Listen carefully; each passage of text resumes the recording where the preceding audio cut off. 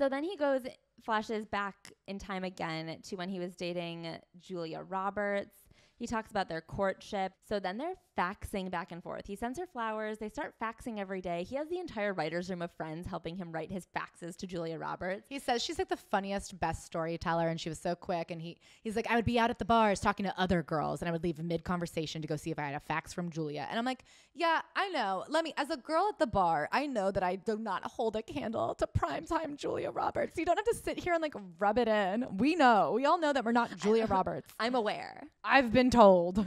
Every single fucking day I walk down the streets and a man comes up to me, taps me on the shoulder, and goes, I'd say hi, but I have to go home and check for a fax from Julia Roberts. And every fucking day I go home alone, okay? Said, that could have been my lover if not for Julia Roberts' faxes.